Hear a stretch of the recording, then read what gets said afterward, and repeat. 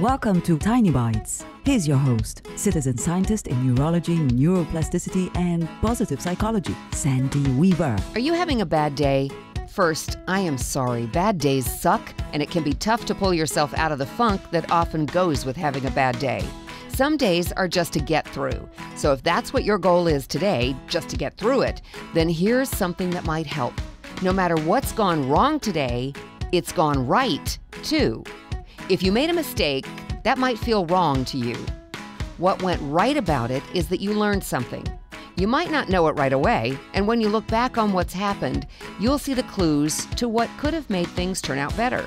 And that's the it's gone right part.